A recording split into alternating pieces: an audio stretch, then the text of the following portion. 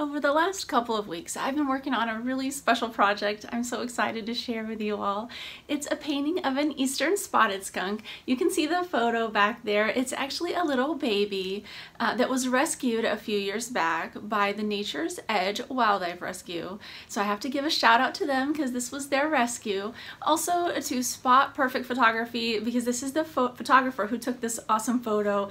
And if you've never heard of an eastern spotted skunk, you're not alone because I'm right with you. I never heard of this species before, but it is a vulnerable species here throughout the Midwest and the East Coast. Um, I think that they have a little bit more of a population in Florida, at least that's what I read online. I've lived here my whole life.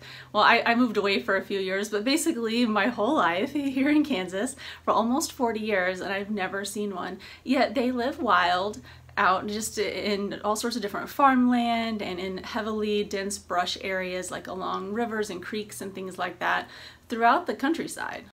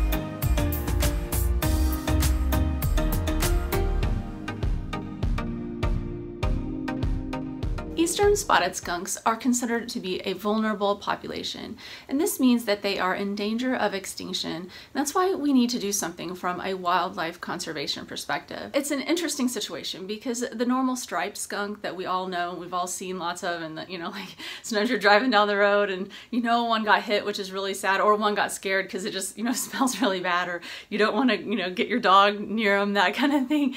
Those are the skunks that we're most familiar with, and they're actually growing in population across the United States. And so they're not in, in danger of extinction at all. But the spotted skunk, it, it's a smaller type of skunk. It's actually the size of maybe like a ferret, maybe slightly shorter than a ferret, but it looks a lot like a ferret. You can see that when you look at my painting. One thing I found so interesting about the skunk is that it does handstands when it's afraid. You know, right before it sprays, the smelly part that we don't like, it kind of stands on its hands and moves its body straight up. Isn't that just so cool?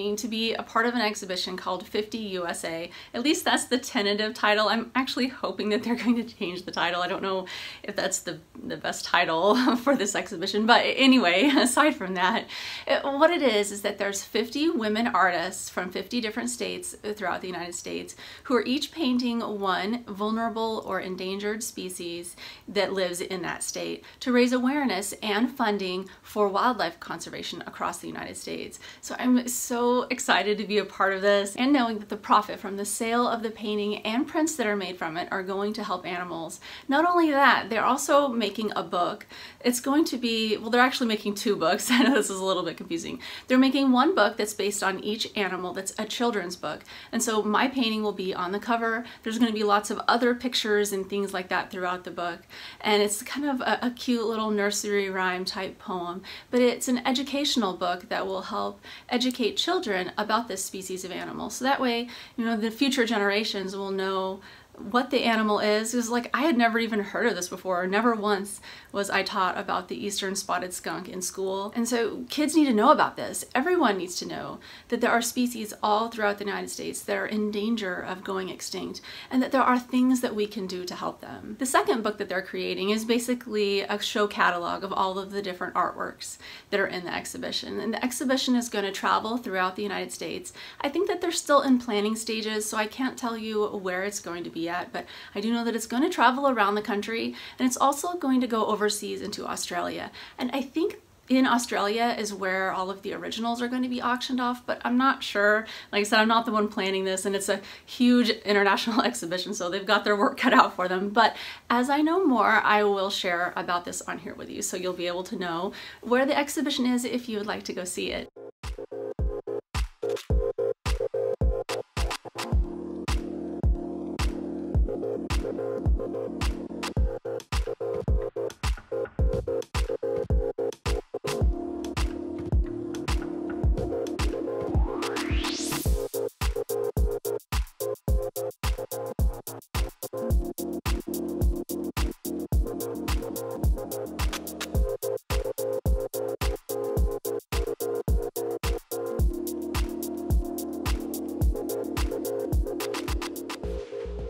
Now to the topic of trying to figure out how to help the eastern spotted skunk. It's not an easy situation to fix when it comes to wildlife conservation. This is mainly because we humans have collectively destroyed so many of the wild spaces for so many of the species and this is the root cause of most of the species lost throughout our world so that they just don't have places to live. They don't have food to hunt because we destroy it. And we need to rectify that. In my opinion, I think that this is one of the biggest social issues that we need to tackle that people aren't thinking about and aren't talking about enough.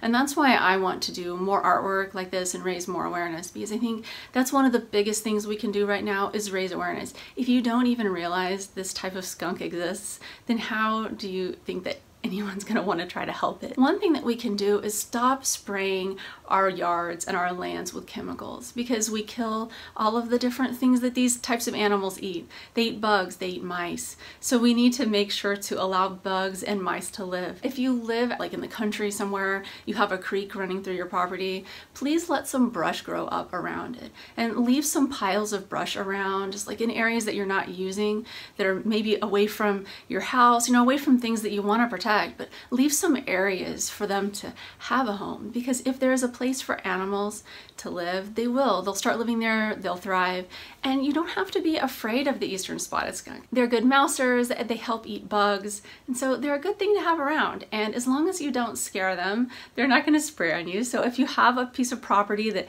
doesn't have a lot of activity of humans, you can try to create an environment that would be hospitable to the eastern spotted skunk. And if you would like more information on that, I've posted a link in the description area of this video. So there are some resources resources that you can look at on specific ideas for conservation of the spotted skunk. One thing to remember, if you do have a piece of property and you see that there are spotted skunks living there, don't try to kill them or get rid of them. I mean, they're not going to harm you. Just let them live their lives and, you know, just try to cohabitate with them because that's the thing that we need to remember is that we are not islands unto ourselves humanity exists inside an ecosystem. And if too many species die off, I mean, that's going to affect us. And so, you know, I think sometimes people are so self-centered and no one likes to hear that. And I am too. I mean, I'm not excluding myself from this. I think all humans are. We like live inside our bubble and we think that our actions don't impact each other or don't impact things around the world, but they do. And everything's so interconnected. And especially after the pandemic, we've all felt the interconnectedness and are still feeling the interconnectedness of humanity in this world. Uh, but what about the interconnectedness of how a species dying off affects another species and then that could affect us, you know? It's all connected. And so if we want to help ourselves, then we need to help the animals. In closing, I'd like to give a shout out to those of you who have supported me on Patreon. Your monthly donation is what is making this painting and many others after this possible because it pays for the art supplies and like the shipping costs and things like this and my time to be able to make them so that way I can send them to different organizations to be auctioned off. Is that's my goal is that to do several of these paintings every year, hopefully more if I can get more support through my Patreon. So if you would like to check that out and support me on Patreon so I can do more work for wildlife conservation, go to the link in the description area or patreon.com slash krystlecole. All right, thank you so much for watching. See you next time.